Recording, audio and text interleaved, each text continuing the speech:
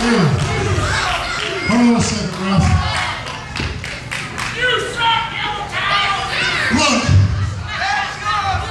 that guy hit me right in the head with this chain right here.